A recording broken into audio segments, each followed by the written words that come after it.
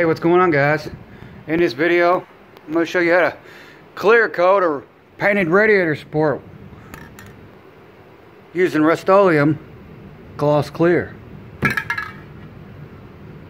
As always, safety first. Make sure y'all wear a respirator so you're not breathing in these toxic fumes from these paints.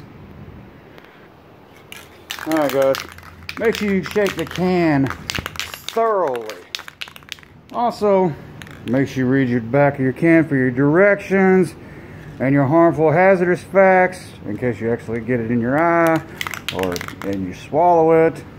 Let's get this can shook up and show you how to apply this Rust-Oleum paint properly and have this thing clear coated and looking like it just got sprayed with a water hose, soaking wet.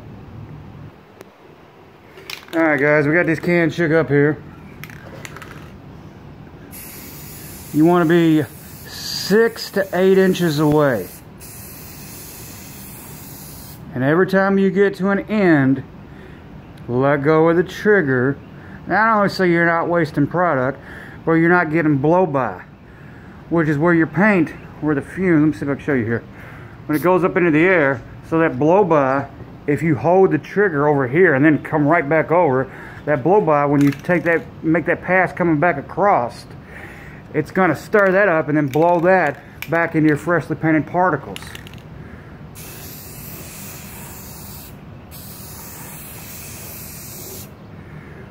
So then what that's going to do is not only create a real bad orange peel, but it also could potentially cause a run and we definitely don't want no runs. And as you notice, I stopped right there, and that's where we're picking back up off.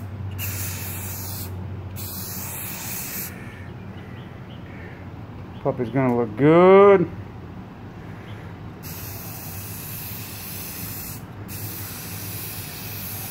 And yes, for all the critics out there, parts of the backside of this support Yes, I know. They're not fully, fully covered with paint.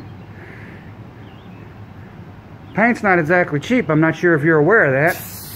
And I don't want to waste the product when I'm going to be painting the whole truck on a section of the truck that's never going to be seen. Now I will apply a light coating and clear coat. But I'm not going to, I guess you could make it, you know, showroom finish or like the exterior of, the, of your vehicle like you're gonna, like you want it to be.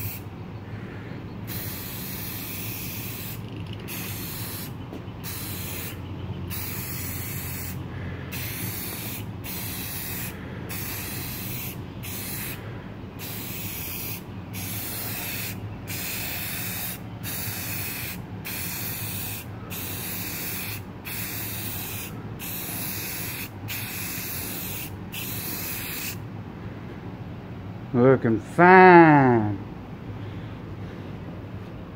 Come to this side, so we got any passes this way.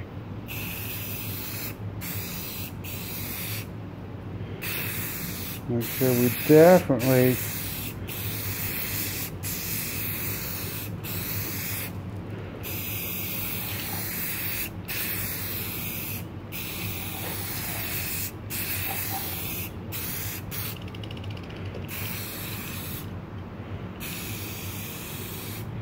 are getting all these areas covered. You only you want the whole thing completely covered, you want to get your spot, your blow-by spots first. Because those spots, just like on a, when you're painting a vehicle, you want to paint the wheel welds and arches first.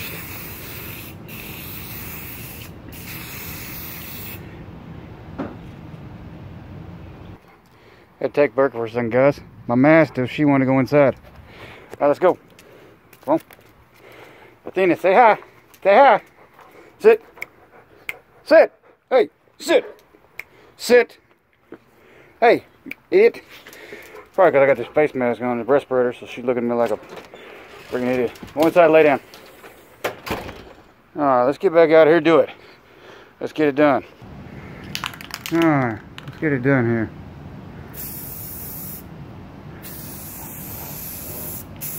Like I said, you want to be, when using aerosol cans, no different than a big, you know, actual paint can.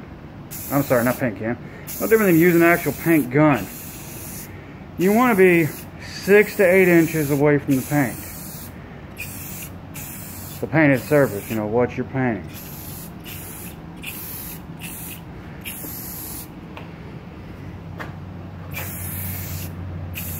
But with the paint gun, now I did do that with the, you know, the color. But on this, you know, I'm not worried about using an actual paint gun to clear coat this. Uh, you know, I'm gonna do that on the whole truck. I'm trying to get the the uh, truck back together. And we'll go from there. But yeah, there you go, guys.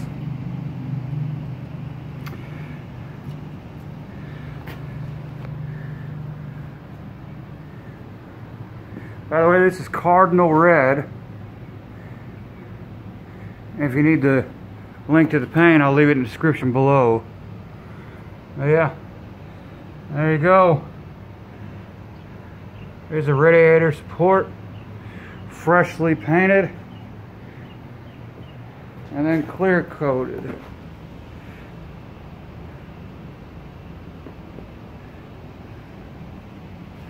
Yeah.